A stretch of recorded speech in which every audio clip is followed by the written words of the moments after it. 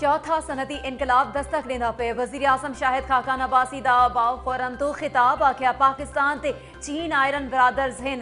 گوادر بندرگاہ دی تکمیل سی پیک دی تجارتی مرکز وچ اہم کردار ادا کرے سی۔ پاک چینی دوستی مثالی قرار۔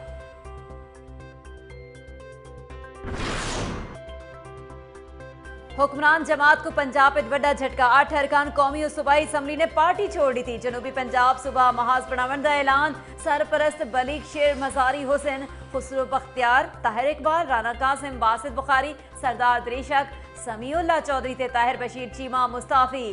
علی اسگا تے طارق باجوہ آزاد حیثیت نات الیکشن لڑن دا اعلان کر دیتا۔